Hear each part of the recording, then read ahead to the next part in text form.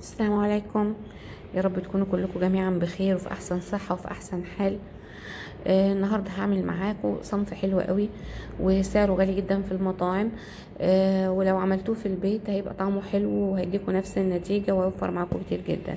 هعمل لكم الجمبري بصوص الديناميت أو الديناميت شريمب. ممكن تستخدموا نفس الطريقة دي في عمل الجمبري المقلي من غير الصوص. آه هتديكوا آه الجمبري يبقى crispy وهيديكوا volume حلو قوي ليه وهيديكوا شكل وطعم حلوين ليه. آه هبتدي أشتغل معاكم هستخدم هنا نص كيلو من الجمبري. أنا جبت الصراحه جمبري كبير آه لأن هو لما بتحط على النار الجمبري بيكش شوية فعشان كان يديني volume وشكل حلو فاستخدمت جمبري كبير. أنتوا طبعا يرجع لكم الموضوع لو عايزين تستخدموا جمبري حجمه أصغر ممكن براحتكم. جبت هنا الجمبري غسلته كويس جدا وفتحت الظهر بتاعه ونضفته من الشعر الأسود اللي بقى موجود فيه ده وهبتدي أحط التتبيلة بتاعتي. حطيت شوية ملح وحطيت نص معلقة من الثوم المهروس وحطيت رشة فلفل أسود. هحط رشة من البابريكا ممكن تستخدموا بابريكا عادية أو بابريكا مدخنة. وهبتدي إن أنا أحط طبعا الملح وأنتوا بتحطوه ما تكتروش قوي لأن أنا هحط دلوقتي معلقة من الصويا صوص والصويا صوص بتبقى مالحة. فخدوا بالكم من الموضوع ده عشان ما يبقاش الجمبري مالح قوي. وهستخدم هنا عصير ليمونة كاملة. ممكن برضو لو أنتوا حابين ممكن تضيفوا شوية بودرة ثوم أو شوية بودرة بصل زي ما أنتوا حابين براحتكم بس أنا ما ضفتش والطريقة دي بيطلع حلو قوي. هنا هقلب الجمبري بتاعي كويس لحد ما كل المكونات تمتزج كده وهسيبه كده شوية في يشبر يشرب من التتبيلة دي. يعني بس ما سبتوش كتير يعني نص ساعة تقريبا. الطبقة اللي أنا هستخدمها لتحمير الجمبري عشان يديني الشكل بتاعه اللي هو ال crispy والشكل وال volume الكبير هستخدم هنا كوبايتين من الدقيق. حطيت عليهم تقريبا أربع أو خمس معالق من النشا الكبار. وهحط معلقة من ال baking powder برضو معلقة كبيرة. وبرضو ممكن تتبلوا الدقيق ده بأي تتبيلة أنتوا حابينها. يعني ممكن تتبلوه ببودرة بصل بودرة ثوم أنا حاطه أحط شوية ملح وشويه بابريكا وممكن تحطوا شوية كمون. التتبيلة اللي أنتوا حابينها ممكن تحطوها على الدقيق. بس هي ديت أحسن حاجة يعني عشان تحسوا كمان بطعم الجمبري لأنه بالذات البصل والثوم البودرة بيبقى نكهتهم قوية قوي فممكن يضيعوا شوية طعم الجمبري. هحط هنا شوية من الخلطة بتاعه الدقيق. يعني حوالي نص كوباية. فتحت عليهم علبة مية الصودا. لو مفيش مية صودا ممكن تستخدموا 7 اب وقلبت كويس كده. وكان القوام تقيل شوية معايا. فزودت شوية مية صغيرين لحد ما القوام هتشوفوه بالطريقة اللي أنتوا شايفينها دي. القوام اللي هو الخفيف ده. خدت بقية الدقيق اللي عندي حطيته في كيس. أنا هبتدي أحط الجمبري في الخليط السائل وبعدين أطلعه من الخليط السائل أحطه في الدقيق. بس عشان برضو زي ما بقول لكم يديني volume ويديني الشكل اللي هو بتاع ال dynamite shrimp ويبقى حجم الجمبري كبير حطيت الدقيق في الكيس. هطلع دلوقتي الجمبري من الخليط السائل أحطه في الدقيق اللي موجود في الكيس وأرجه كويس قوي بحيث إن الجمبري كله ياخد من الدقيق اللي في الكيس وياخد وما ينزلش من عليه. زي ما أنتوا شايفين كده هاخد كل واحدة واحدة كده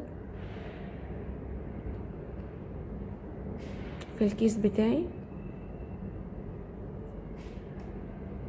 وهرج بقى كويس قوي كده عشان كل الجمبري يتغلف بالدقيق. هكون أنا في الحالة ديت أنا بحط الطاسه بالزيت على النار وبشويه زيت غزير يعني وسط يعني مش كتير قوي ولا قليل قوي وهبتدي أنزل بالجمبري اللي أنا غلفته بالدقيق في الزيت. بس طبعا تستنوا أما الزيت يكون سخن. يعني أنا هنا نزلت بواحدة جمبري سنه وبعدين أول ما بدأ يسخن نزلت بباقي الجمبري.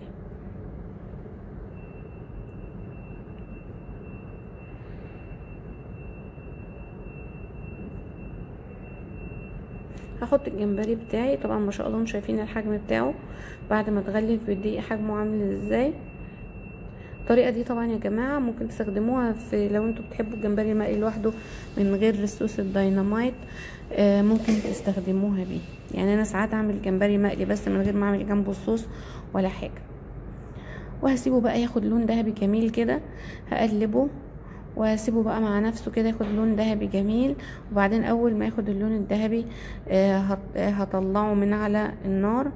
طبعا من الحاجات المهمة جدا في ال- الديناميت شريمب إن لازم الجمبري يبقى سخن وتقلبوا عليه الصوص عشان يشرب منه. ولازم يتاكل وهو سخن. هو المشكلة بتاعت ال dynamite shrimp إن هو ما بيبرد شوية ما بيبقاش طعم يعني بي- بيفقد اللي هو ال- ال crispy بتاعه وكده. فلازم إن الجمبري يكون سخن وتقلبوا عليه الصوص ويتاكل على طول في نفس الوقت. كده الجمبري بتاعي خلاص اتحمر من ناحيه هقلبه الناحية التانية وأوريلكوا شكله عامل إزاي. أهوت. كده.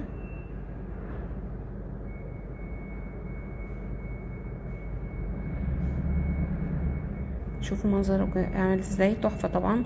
يعني ممكن عادي يتاكل كده من غير أي صوص معاه ولا أي حاجة. هطلعه كده.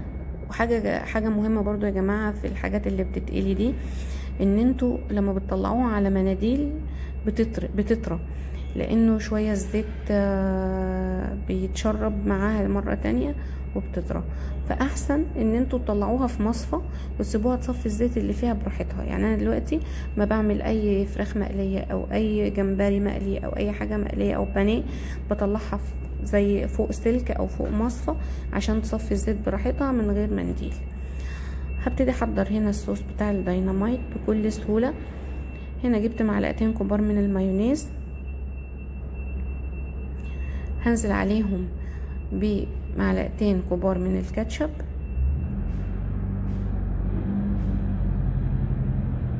حطيت نقطة صويا صوص دي ممكن تحطوها ممكن تستغنوا عنها بس بتدي نكهة. وبرضو ممكن تقللوا كمية. الكاتشب شوية.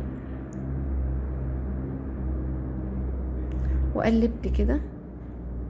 أنتوا طبعا بتعايروا الحاجة ديت يعني حسب ما أنتوا شايفين. يعني صوص الديناميت بيبقى فاتح مش غامق. وبعدين هحط شوية رشة آه، اللي هو ال chili powder وحطيت هنا معلقة من العسل الأبيض معلقة كبيرة. طبعا أنتوا ممكن الخطوة بتاع ال chili powder والعسل تستغنوا عنها وال- والكاتشب تقللوه وتحطوا معلقة من السويت تشيلي صوص بدل ال- الخطوة دي. طبعا هنا عندي الجمبري سخن أرش عليه الصوص بتاعي بصوص الد- الديناميت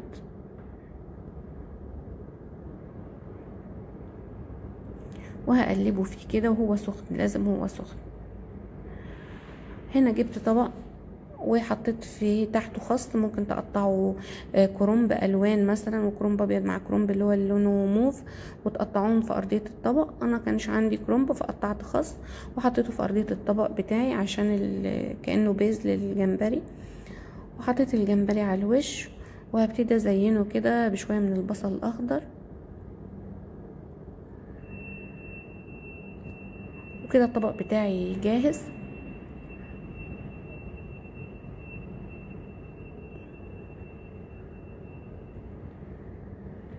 شايفين شكله جميل جدا وطعمه يا جماعة بيبقى تحفة. وزي ما قلت لكم لو أنتوا هتاكلوه سخن ممكن تحطوا صوص الديناميت لو لا ممكن تاكلوه مقلي عادي ومنظره حلو ويفتح النفس وجميل جدا. يا رب تكون الوصفة بتاعتي عجبتكم. وتنفذوها وتقولوا لي رأيكم فيها. آه، وبالهنا والشفا وما تنسوش تعملوا لي آه، subscribe و like و share ومستنيه دعم مستنية دعمكم. متشكرة قوي ليكم. مع السلامة.